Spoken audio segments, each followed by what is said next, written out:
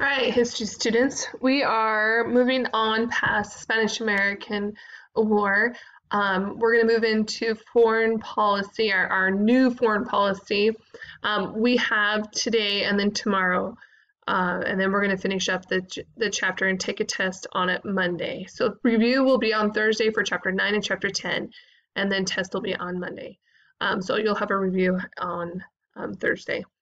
Um, so our journal up on the board says, do you think that media has an influence on the United States society? So you can either pause this or move on. Um, if your sub wrote it up on the board, that's even better. All right, let's move back so you can see the title so you can write it down. And remember to take notes because you get credit for it. The New Foreign Policy, Chapter 10, Section 3. So this individual over on, on the right hand is Teddy Roosevelt or Theodore Roosevelt. Um, I love to use um, political cartoons because it tells the story of what the people were feeling at the time. They draw out their emotions, the social climate that's um, currently going on. So we're talking right now the turn of the 20th century. We're talking the early 1900s. Um, the Spanish American War was just wrapped up. Um, we are going through the Industrial Revolution. Um, the foreign war is going to happen, the 30 Years' War here pretty soon with the two world wars um, combined. And then um, we'll move into the Great Depression also in between that. So there's a lot that's going to be happening in the next couple of months that we talk in terms of history. So we're going to start with Teddy Roosevelt. We talked about him gathering a kind of a ragtag group of individuals during the Spanish American War. Became very famous one um, with the, the charge of San Juan Hill, the Battle of San Juan Hill. You're going to be doing a worksheet on that today um, after this um, video or before. It just depends what your sub has you do. Um, so let's let's get going.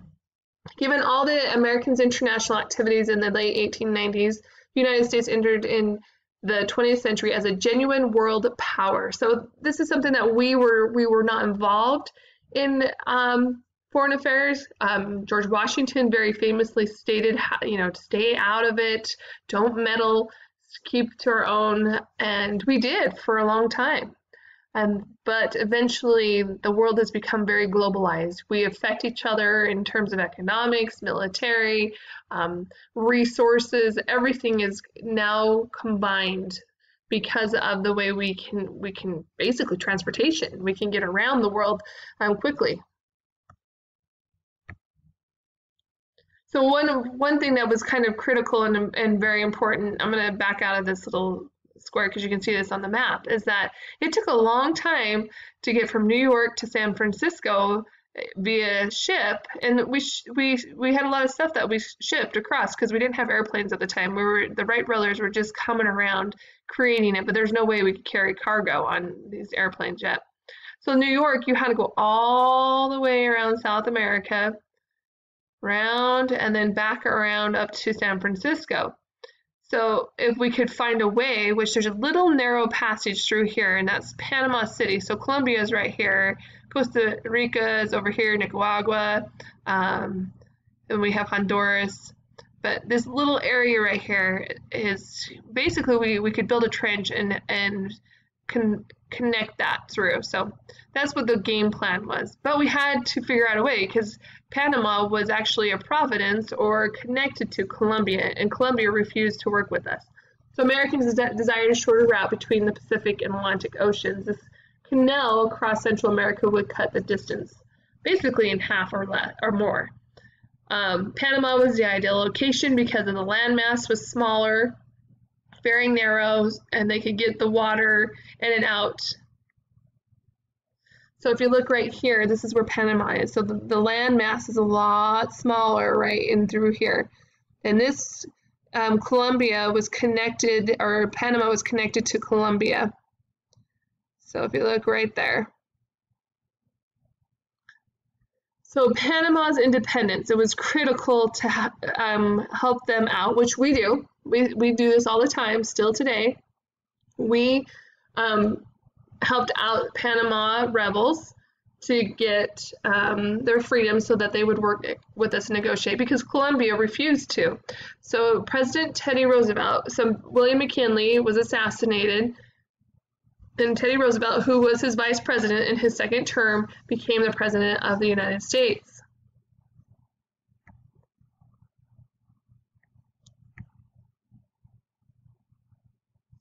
The revolt took place in 1903 with United States warships waiting offshore to support the rebels.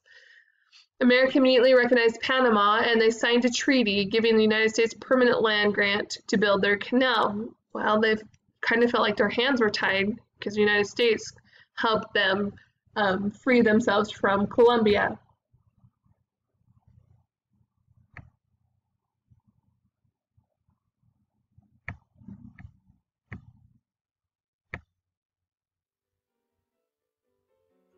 Theodore Roosevelt and the Panama Canal.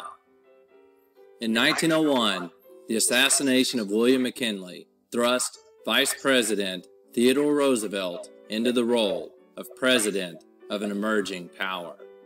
Roosevelt, unwilling to allow European nations to dominate international political and economic affairs, was determined to make the United States an even more powerful force on the world stage. In 1905, building on the achievements of the Open Door Notes, Roosevelt managed to mediate a peace negotiation between Japan and Russia. The two nations had been fighting for control of possessions in Manchuria and Korea, and the successful negotiations won Roosevelt the 1906 Nobel Peace Prize. As Roosevelt's presidency continued on, America's role in international affairs continued to grow.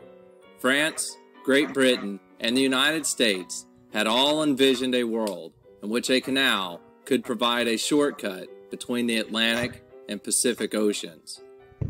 As early as 1850, Great Britain and the United States had agreed to share operating rights of such a canal if it could be built. However, in 1901, Britain granted exclusive rights to such a canal to the United States. In the late 1800s, France had attempted to build a canal in Panama, but their efforts had failed. In 1903, President Roosevelt and Congress purchased the rights to this Panama route for $40 million. Roosevelt saw the completion of a canal in Panama as a military and economic necessity for the United States, and he was determined to make it happen. Panama, at that time, was controlled by neighboring Colombia. When negotiations with Colombia to build the canal failed, Roosevelt worked closely with French officials to orchestrate a revolution in Panama. When the fight for Panamanian independence broke out, Roosevelt sent Marines and nearly a dozen warships to Panama to secure control of the territory in the Isthmus of Panama. Fifteen days later, the Hay-Bunau-Varilla Treaty was signed with Panama, granting the U.S. control of the Canal Zone area. The U.S. agreed to pay Panama $10 million, plus an annual rent of $250,000 for control of the area. Construction of the canal began in 1904, and the completion of the project remains one of the world's greatest engineering feats. More than 43,400 workers battled diseases such as malaria and yellow fever, unfavorable terrain, hot, humid weather, and torrential rainfall. Work was not completed until 1913, and some 5,600 workers lost their lives due to accidents and disease.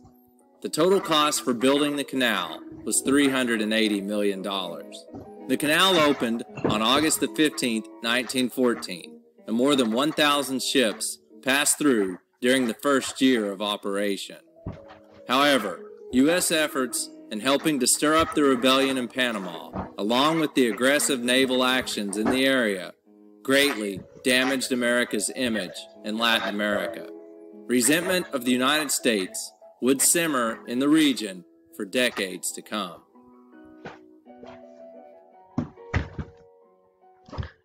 So just like um, the Civil War, there's a lot of people that died from disease. Um, malaria being one of the most deadly, which still today is one of the most deadly diseases in the world.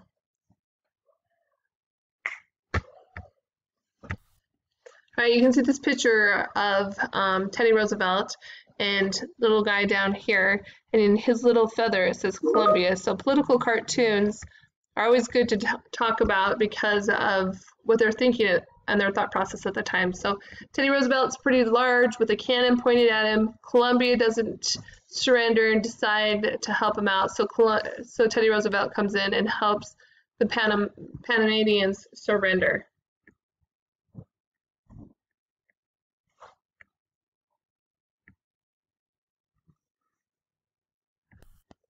Here is a, a visual of what the Panama Canal looks today. So on this side right here, you can see that they fill up these and then they slowly, gradually um, push these ships through. It's pretty expensive to go through there too, by the way. Um, this is what it looked like when they were digging out the Panama Canal over 100 years ago.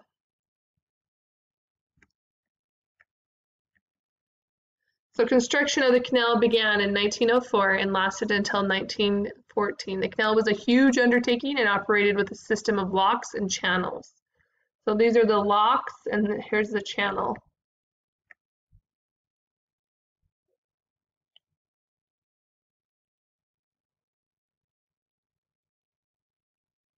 Here's a video of how the Panama Canal works.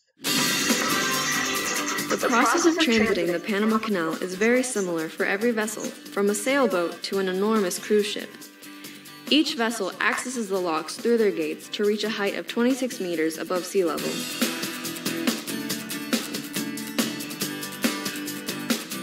A control house operator closes the gates to the locks and then opens the valves that control the water flow.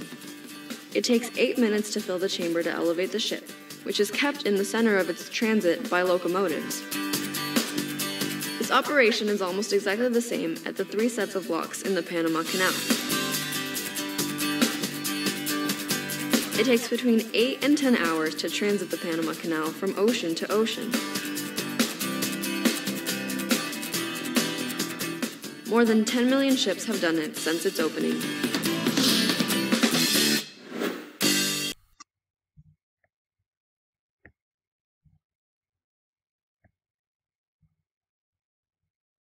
Hold on. All right, moving forward with um, Teddy Roosevelt and his um, policy. So one of the big things with Teddy Roosevelt, you know, I talked about speak softly, um, but carry a big stick. He was very, very open and very vocal too. Roosevelt believed that if the U.S. displayed military and economic power, there was the rest of the world would obey without resistance or conflict. And so he wanted to show that America is a world power, not just, you know, in the region, he wanted to show worldwide.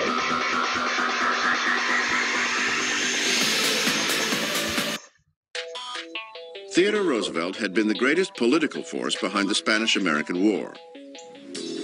He saw America's emergence as a world power not only necessary for survival, but a duty he felt Americans had a responsibility to civilize the rest of the world. He made the country realize that we now, in a post Spanish American War era, had a global responsibility. We were no longer a country being born, that we were now a world leader. And that with that came a new kind of global responsibility. Roosevelt, more than anybody, believed America needed a canal through the Central American Isthmus owned by Colombia. The thought was this canal was going to be a way to protect both seas of America, that any moment, if the East Coast was attacked, the West Coast fleet could quickly come to its aid. Now, Roosevelt believed this canal, the Panama Canal, would be a very good thing for the United States, but he believed it would also be a very good thing for the world. The Colombian government didn't exactly agree with Roosevelt, at least not at the price he was offering. So, once again, Roosevelt took unorthodox measures. He backed a local revolution and helped create the nation of Panama in exchange for the right to build a canal there.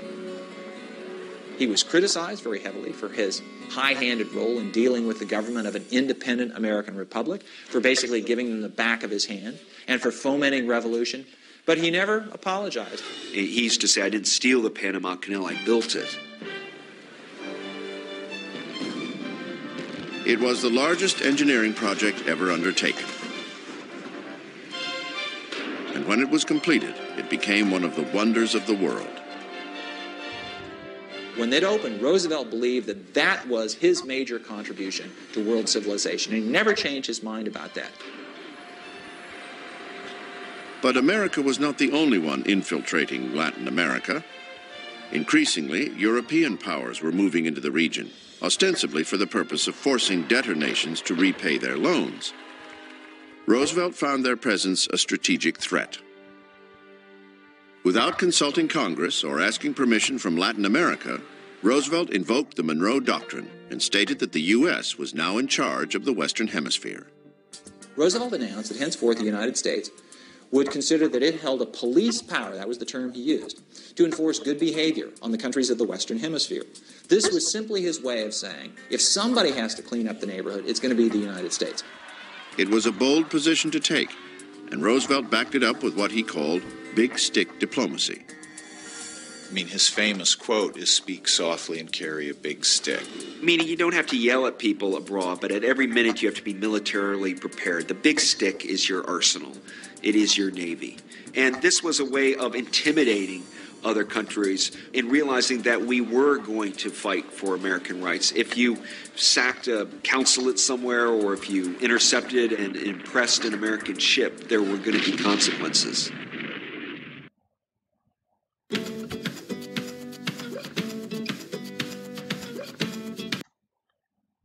So Teddy Roosevelt invoked the Monroe Doctrine, which what is the Monroe Doctrine again?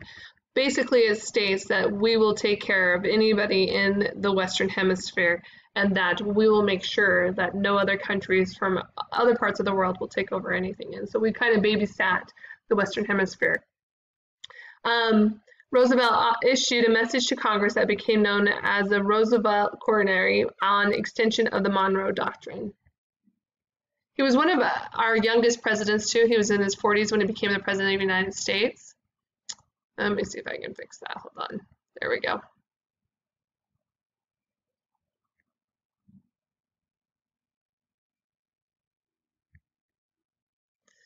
Roosevelt, denied that the United States was interested in acquiring new territories, but that they would intervene to stabilize political and economic affairs in South and Central America. This signified a very formal shift from American isolationism to interventionism. So what we have here. At K-12, I'm ready.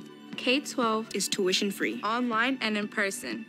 The great fundamental issue now before our people can be stated briefly. It is, are the American people fit to govern themselves, to rule themselves, to control themselves? I believe they are. My opponents do not. I believe in the right of the people to rule. I believe that the majority of the plain people of the United States will, day in and day out, make fewer mistakes in governing themselves than any smaller class or body of men, no matter what their training, will make in trying to govern. I believe again that the American people are, as a whole, capable of self-control and of learning by their mistakes. Our opponents fail lip loyal to this doctrine but they show their real beliefs by the way in which they champion every device to make the nominal rule of the people a sham.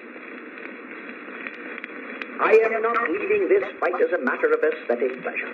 I am leading because somebody must lead, or else the fight would not be made at all.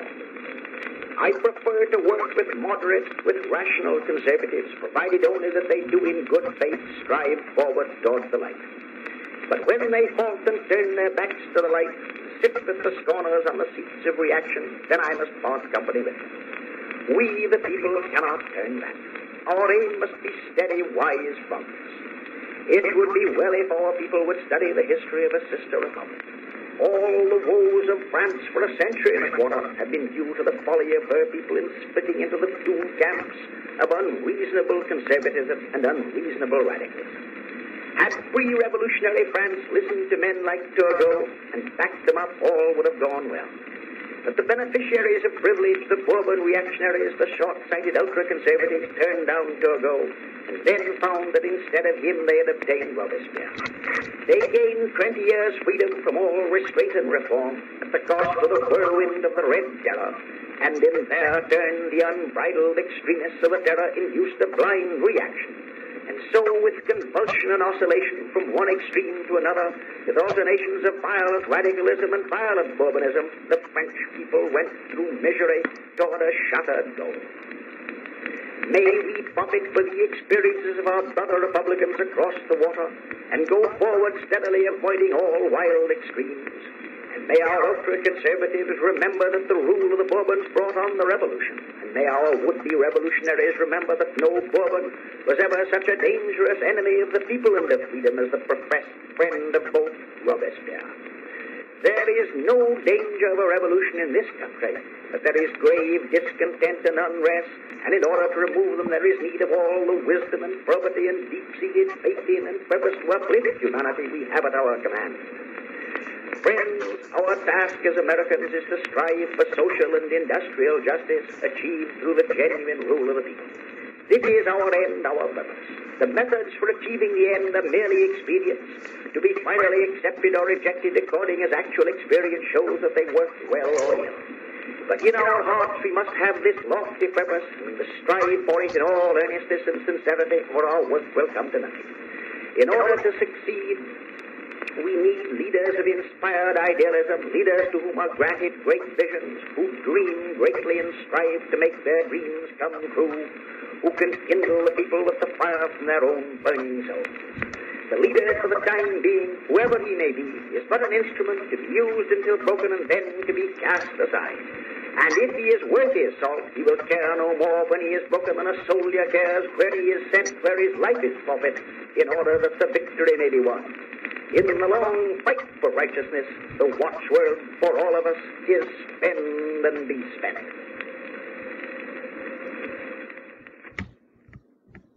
So that was a speech from Teddy Roosevelt about isolationism and interventionism. Um, he believed that we needed to pr protect our interest in our on our continent.